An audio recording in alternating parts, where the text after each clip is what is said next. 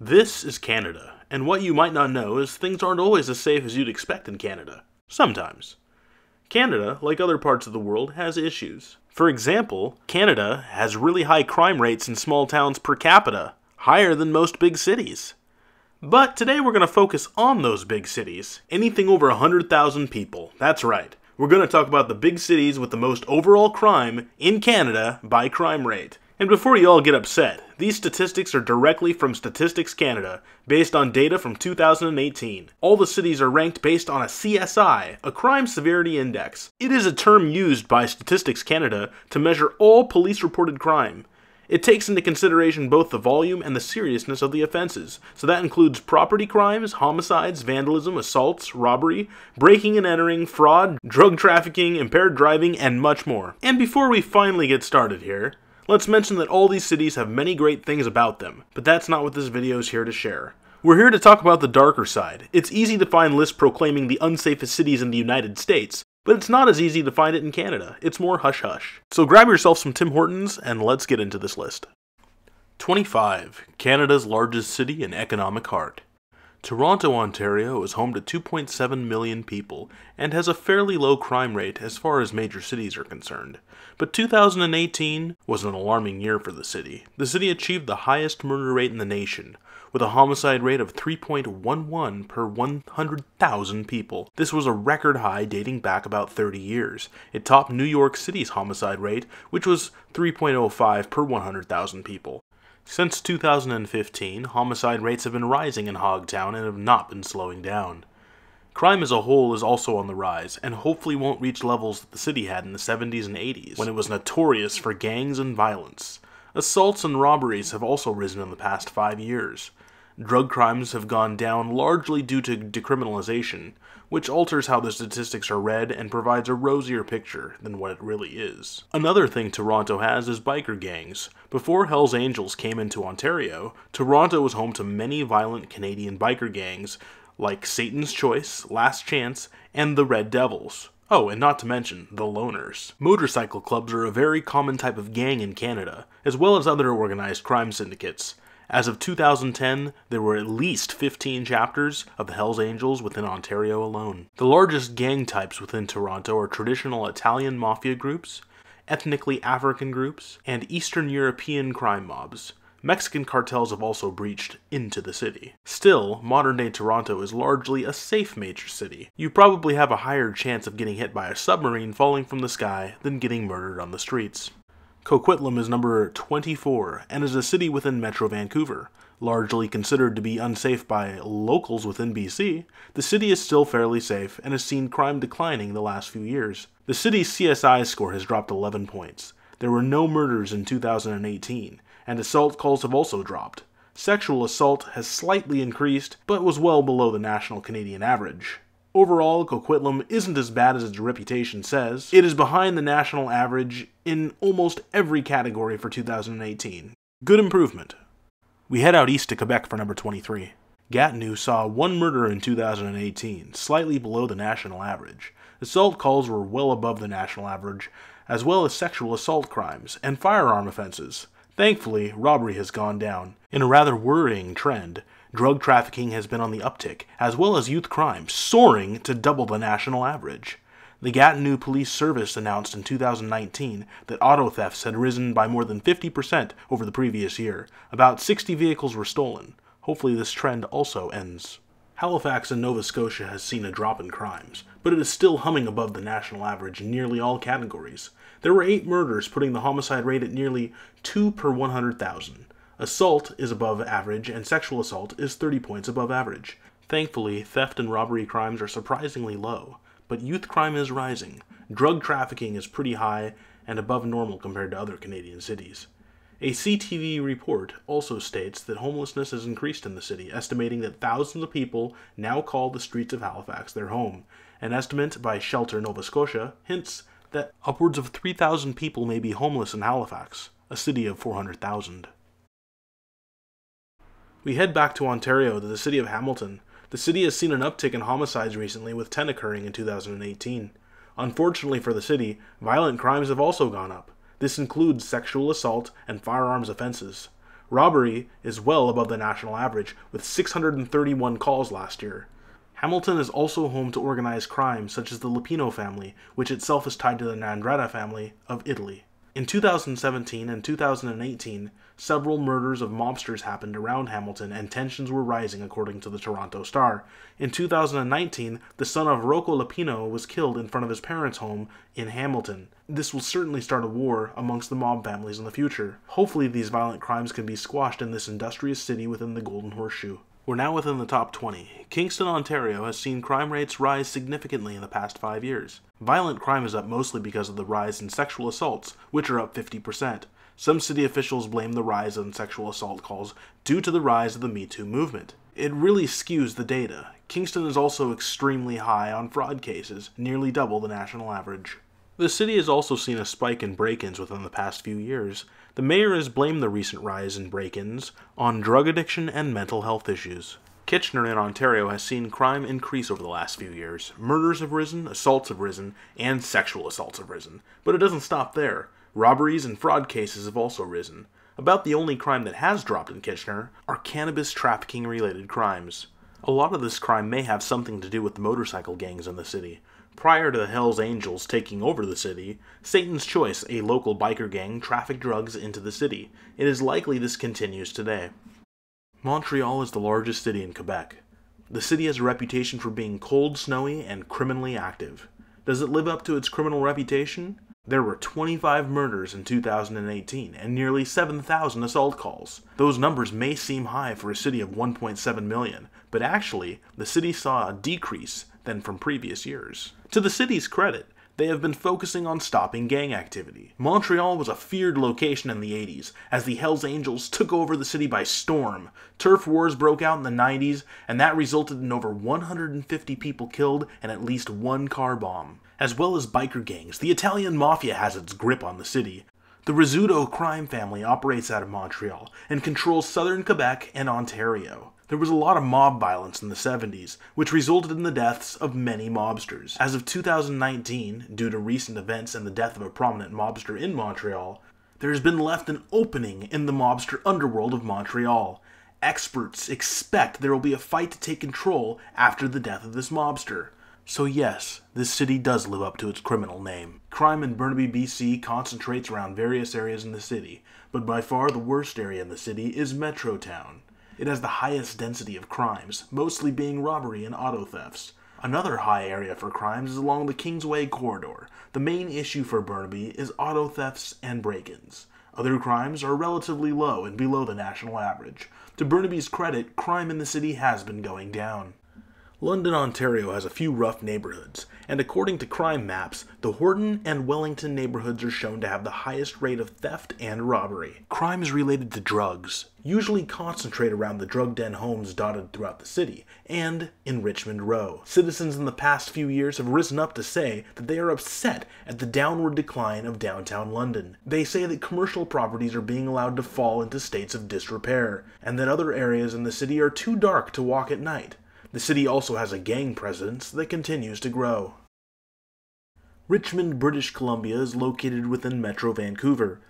Over the past few years, crimes have declined, but they're still much higher than the citizens would like. The city also has a higher than average homicide rate, with 8 murders in 2018. Firearm offenses are also high, but thankfully, robberies are lower than average. Breaking and entering incidents, though, are above the national average. Unique to Richmond compared to other Canadian cities is the amount of bicycle thefts Richmond has. The downtown area is easily traversed via bicycle, but also has a very high bike theft rate. Overall, the city is in a state of limbo, with some crimes being above the national average, while others are well below it. St. John's in Newfoundland and Labrador is located on the tip of the Avalon Peninsula and is Canada's easternmost city with 108,000 people. The city has been in the news for many years recently, mainly because it's been ranked as one of Canada's most dangerous cities. But in 2018, there was a breakthrough. Most of the crimes in the city had declined. In a city of just over 100,000, there were three murders in 2018. The city's assault and sexual crime rate is much higher than the national average, but did decline over previous years. Being an important port city for Canada, there is a surprisingly low amount of drug trafficking being reported. The city also has a very high suicide rate and is tied with Toronto for the highest child poverty rates in all of Canada. At number 13, we have Calgary, Alberta. With a population of 1.3 million people, Calgary is one of Canada's larger cities. Unfortunately for Calgary, crime is increasing. 2018 saw an increase in murders over the previous year. There were 29 reported homicides. While assaults and sexual assaults are well below national average, they too are on the rise. Another category that the city falters at is the robbery rate and the amount of break ins. They are well above the national average. There is also a varied street gang presence in Calgary, including Aboriginal street gangs, Punjabi street gangs, black street gangs, Lebanese street gangs, and of course, the biker gangs. The city has seen an uptick in drug trafficking from Somali, Afghan, and Pakistani street gangs. In the 2000s, there was a bloody gang war between various gangs that ended with at least 25 murders. Abbotsford, British Columbia has earned a reputation for its motorcycle gangs, Punjabi street gangs, and other multicultural gangs. The Townhill neighborhood has seen many gang conflicts in recent years, and crime prevention groups have tried to focus on the youth who are entering these gangs. Crime as a whole has increased in Abbotsford, and for a city of its size, it has a much higher than normal homicide rate, beating out the Canadian national average and the US national average. There were nine murders in 2018. Youth criminal acts are also on the rise, and the main cause of concern among families and city leaders. 11. Thunder Bay is an isolated city in Ontario and has a population of 115,000. Nearly every crime category is above the national average. 2018 saw seven reported homicides. Sexual assaults and assaults are far above the national average. Robbery is also very high. On average, there is about 5,500 crimes per 100,000 people. Think about that. What makes all these statistics even more concerning is how a general social survey found that only 31% of violent crimes were actually reported to police. Sadly, Thunder Bay's isolation has led to the rise of youth boredom, which in turn seems to lead to crime and drug use. And related to drug use is the rise of drug trafficking in Thunder Bay. According to the Thunder Bay Police Service, there has been an increase in gang related killings largely due to the drug trade. We break into the top 10 with Windsor, Ontario. Windsor is located across the Detroit River from Detroit, Michigan, which is famous for its auto industry and homes costing only about $8,000. Windsor is not only a polluted city, it's also a haven of crime. A police investigation starting in 2016 found out that a major sex trafficking ring has been running between Windsor up the 401 corridor to Toronto. As of 2019, police still know about it, but no arrests have been made. It can only be assumed that they are monitoring the situation. According to the Windsor police, someone attempts a break in every five and a half hours in Windsor. Ambulance. Police car.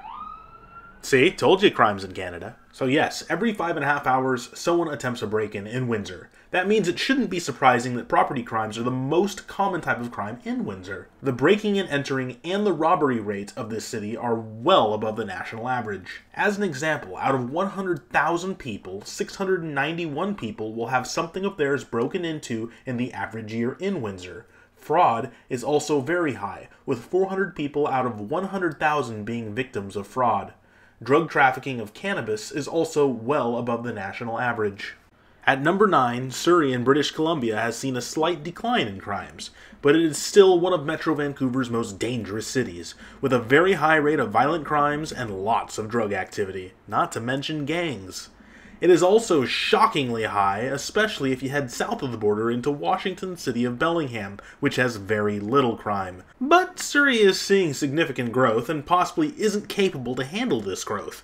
The city is currently working on forming their own municipal police department after corruption within its RCMP detachment. There were 12 homicides in Surrey and over 2,095 reported assault cases the homicide rate is far above the national average. Rates of robbery are above the national average, as is breaking and entering.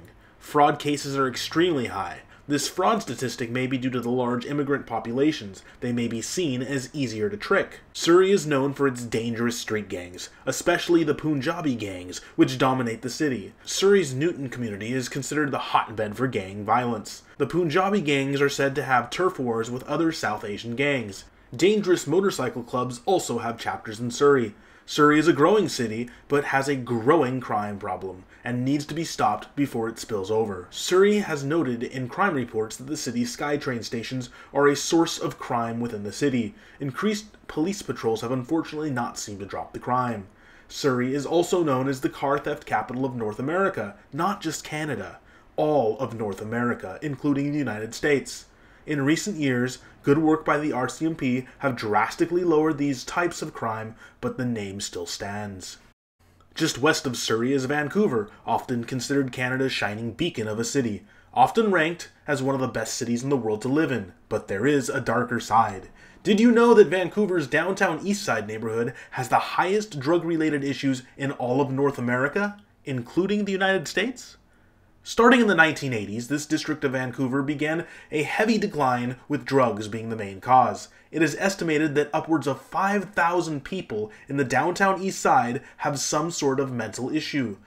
The BBC calls the downtown east side home to the worst drug problem in all of North America. Simply walking down the street in this area, you will be surrounded with the mentally ill, homeless, tents, drugs, and human waste.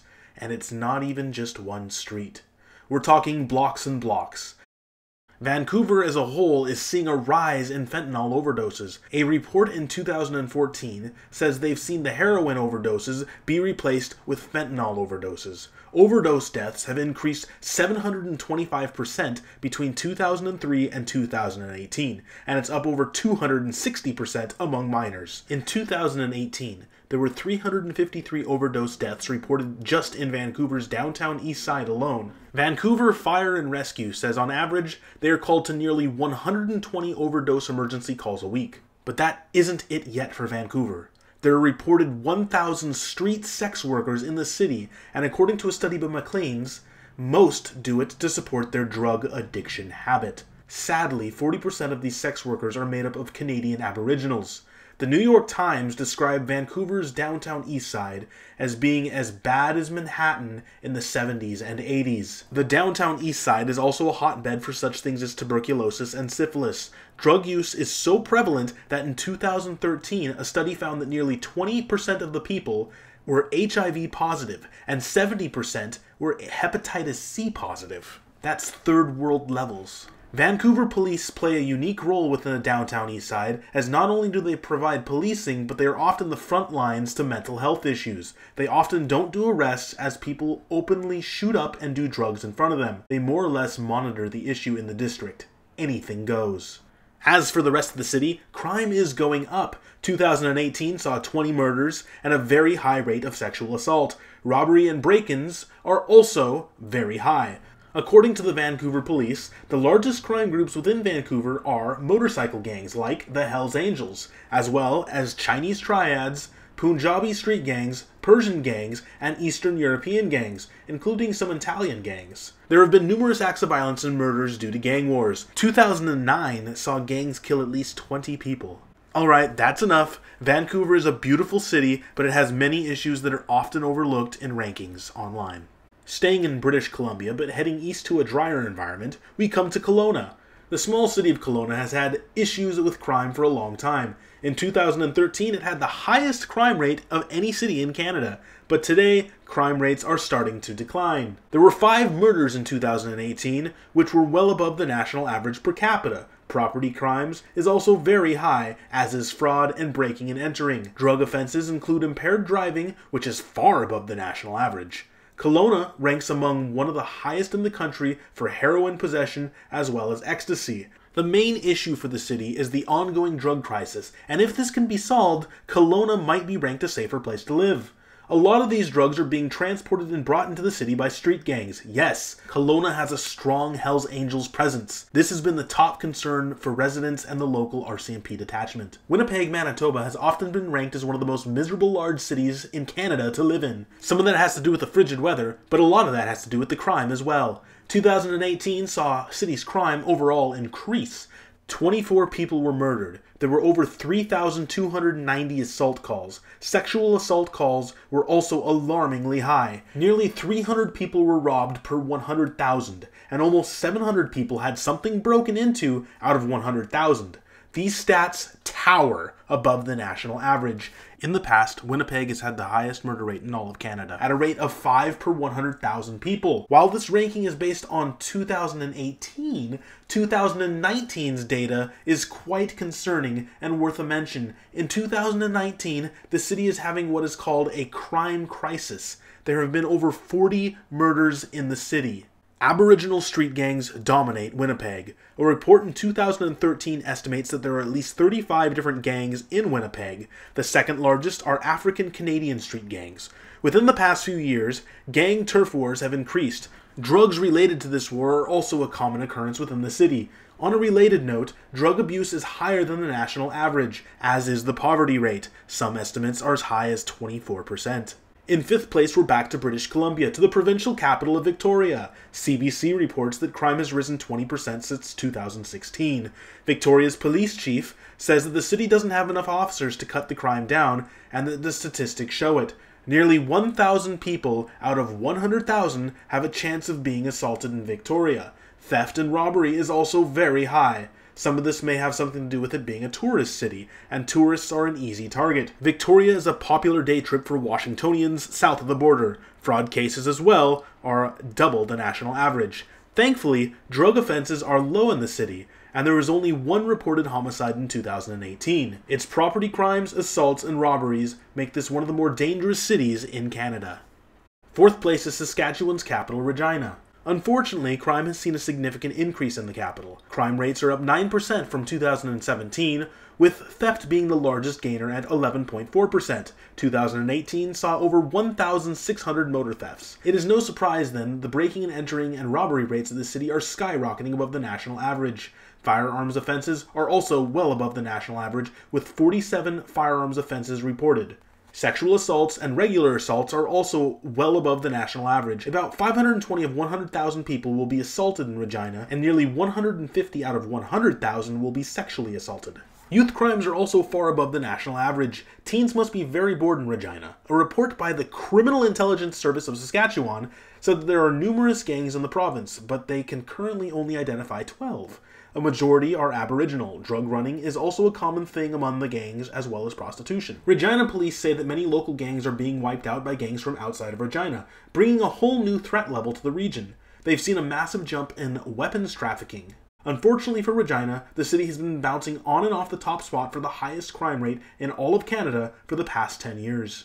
Edmonton, Alberta has the dubious award of seeing crime continue to increase the past decade. The city saw 41 homicides in 2018, which is an alarming number, some of which can be blamed on the increased gang activity. The top gangs in the city are Aboriginal gangs, followed by black gangs, Middle Eastern gangs, and Punjabi gangs. Recently, Mexican drug cartels have seen an increased presence in the city, followed by biker gangs.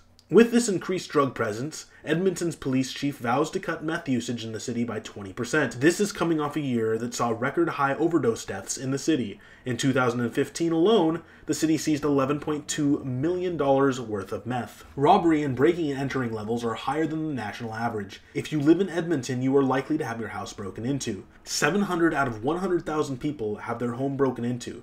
For fraud, over 600 people are tricked out of 100,000. Theft is very high across the city and is concentrated around transit centers or the east end of the city. On average, there is 800 liquor store thefts per month, and there's indications a lot of these thefts are related to the meth crisis in the city. 60% of drug violations within the city are meth related. A study by Statistics Canada, using data from 2018 and 2019, shows that Edmonton had the highest concentration of meth in its wastewater at 500 grams per million people per week, more than any other city in Canada. In second place, we have the largest city in Saskatchewan, Saskatoon. The city has a higher than average homicide rate, with five known homicides in 2018. But sadly, that number increased to 16 in 2019. Where it gets worse is when you look at the assault and sexual assault rates, which are very high for a city of its size the robbery and breaking and entering rate is astronomical. If you live in Saskatoon, 900 people out of 100,000 will have some form of breaking and entering crime occur to them. You also have a very high rate of fraud and drug related crimes. In 2017, Saskatoon had the highest crime rate for large cities in all of Canada. Unfortunately, this trend has continued for the past 10 years, as well as its sister city of Regina.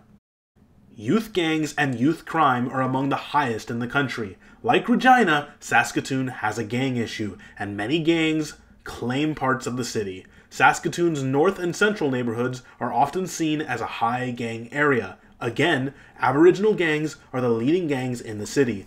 This ties right in with the very high poverty rate among First Nations in Saskatoon. Related to poverty, the city reports at least 475 homeless people within the city. Having just hit the milestone of 100,000 people, Red Deer should be celebrating, but instead it isn't.